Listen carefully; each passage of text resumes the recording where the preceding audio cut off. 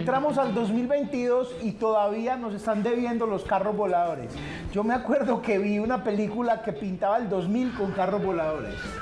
O sea, llevamos ya Ya 22 nos de retraso. 22 años y nada de los carros voladores. Y yo veo que hay prototipos de carros voladores y son muy pailas. O sea, como que uno ve, "Ay, no va, no va, no le va a dar, no le va a dar. No, no, no, pero somos nosotros los que haríamos a fuerza si vemos un carro subiendo allí. ¿Qué está?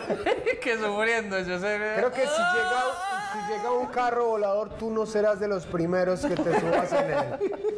A usted le toca como la tercera dosis de los carros voladores. Pero, pero a vos te van a tocar tipo buses voladores, volqueta voladora, ahí ya uno dice, aguantan. ustedes, ¿qué extra, no, que, que extrañan, no, ¿qué les deben del futuro que les vendieron? Ah, pero es que a mí ni siquiera carro volador. Yo, yo quiero un, un- un cuarto. Entra uno, un botón, ve, voy para Santa Elena, pin, ya llegué. Ah, la teletransportación. Sí, sin mosca ni nada, solo no eso. tendría, no tendría muchos botones.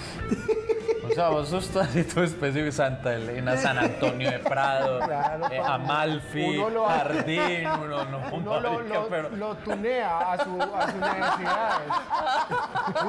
Pues sí, porque igual hay sitios a los que uno no quiere ir, ¿no? que no te va a empezar a coger el mapa. y- Ah, que con allá no, allá no, allá no. Véndame uno, pero que no le ponga Nori.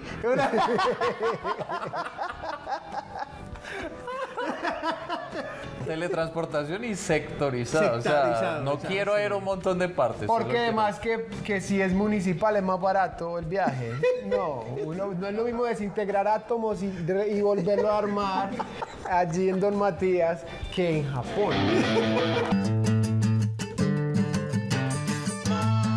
Oiga, pues yo confieso que cuando yo era muy chiquito y veía cómo funcionaba un fax, algo en mi cabeza me decía que si metía la manito o algo, iba a salirle al otro lado allá. Realmente el fax es lo Es más que eso cercano me a la muy miedoso. Sí, claro, es, es lo más cercano a la ¿Y teletransportación. creen que vamos a llegar a eso o no? Sí, al fax. A la teletransportación. a fax de humanos. Hombre, no sé, pero, Me aguantaría imaginé mucho. fue metiendo H. Yo me No, imaginé, Chicho, usted se mete y usted de una vez, ay, Pero es que que mira aparezca con 30 kilos menos. Si se pierden en el camino. Todos los inventos que hemos dicho no son, o sea, el Sí. futuro no concibe a Chicho. Estaba pensando en una teletransportación más análoga y es la de los tubos que hay en los supermercados y por ahí tampoco quepo. La de los tubos por donde meten la plata. ¿Se han visto? que meten Increíble ese- eso. eh, Yo es una- trabajé en un supermercado y me parecía asombroso Es eso. muy o sea, bueno. las caderas terminan de hacer ahí como el conteo y mandan como una cápsula y, Y eso chupa. va en un... Y chupa. Pues como en un ducto donde llegan todas las cápsulas. Eso. O sea que eso chupa. Yo me imagino que no, ha- Chupa. no debe haber, claro, para poder que se vaya un vacío en ahí. Pues debe tener una caída.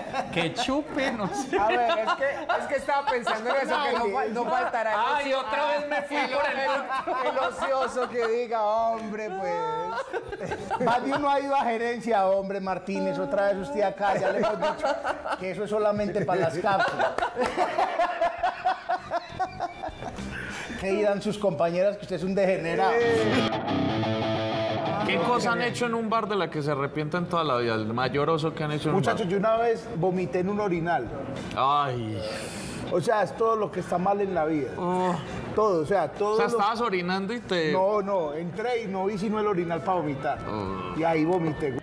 O sea, eh, es- Y una vomita de chicho es... no, ¿sabes No qué? ¿Y sabes qué fue? Que avisé ¿A quién? al dueño, pues a los a los Voy a vomitar en el no, orinal. No, vomité en el orinal para ver si limpian. Ah, es como cuando un niño se vomita en el bus y va al ladito de uno. Siempre el olor. Pero es una reacción en cadena, ¿no? Uno siente el olorcito de un niño. Ah, sí, sí, es verdad. Es verdad, es verdad. Y también limpié vómitos de mi hija.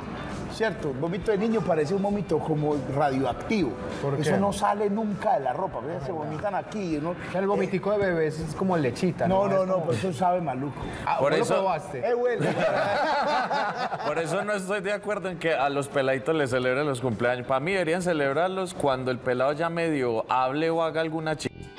Pero que, que- que un año. O sea, el peladito no ha hecho nada por llegar vivo ese año. Todo se lo hace. Y celebrando el cumpleaños, hay que celebrarle a los papás de él. Lo has tenido vivo Sí, dos años. claro, has hecho todo por ese Y no pelado. se acuerda, un niño de un año no se acuerda del cumpleaños. ¿Para qué? Además que organizan eso, que el bautizo o eso y es comprando y que trago y todo lo ven. Pues los adultos, el peladito importa un... Ah, el niño se duerme y los, los papás a bailar, lo mismo que el bautizo. El bautizo no, ¿para qué celebra eso? Que no, voy para el bautizo del hijo de un amigo, uno sabe que se va a hartar. Y los mitos que hay en el bautizo, ¿no? He escuchado que, que cuando el niño llora, que es una reacción normal, un peladito llora todo el tiempo, pero que en el bautizo es porque ahí le están sacando el, El demonio. Es que cuando empiezan con una pataleta, ahí le está sacando el demonio. A mí, a mí, a mí esa, la- el, agua, el agua de la pila bautis- bautismal siempre me ha llamado la De hecho, yo atención. tengo 42 años y me baño con agua